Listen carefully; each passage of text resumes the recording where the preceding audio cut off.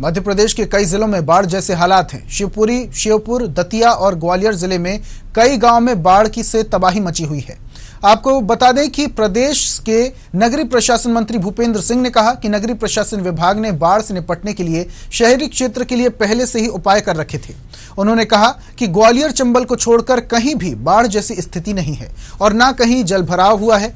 इससे साथ ही दिल्ली में आज बीजेपी सांसदों की होने वाली बैठक को लेकर बोले, आज मध्य प्रदेश के सांसदों की बैठक है और मुख्यमंत्री इस बैठक में मौजूद होते ही हैं, क्योंकि सांसदों की ओर से प्रदेश में क्या काम हो रहे हैं और क्या योजनाएँ चल रही हैं, उनकी जानकारी मुख्यमंत्री को ही देते हैं।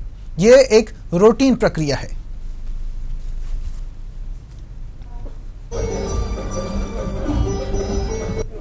देखिए, बाढ़ को लेकर हम लोग पहले से सतर्क हैं। और अभी तक किसी भी शहर में ग्वालियर में कुछ जगह छोड़ के, बाकी चाहे भोपाल हो, चाहे बाकी शहर हो, कहीं पर भी निचली बस्तियों में जल भराव की स्थिति नहीं आई है। हमने पहले ही जहाँ पर नालों का निर्माण होना था, नालों की सफ़ाई होना थी रिपेयरिंग होना थी, इसके लिए बजट सभी नगरीय निकाय को हमने पूर्व में ही दिया हुआ है। और उस बजट के आधार पर सभी जगह जो काम है वो हो रहे हैं और इसीलिए अभी तक कहीं पर भी इस तरह की जल भराव की स्थिति नहीं है।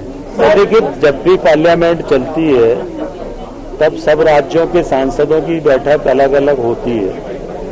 उसी तरह से मध्य प्रदेश के सांसदों की बैठक है, जिसमें माननीय राष्ट्रीय अध्यक्ष जी, जेपी नड्डा जी रहने वाले हैं। और प्रदेश के मुख्यमंत्री हमेशा उसमें रहते हैं।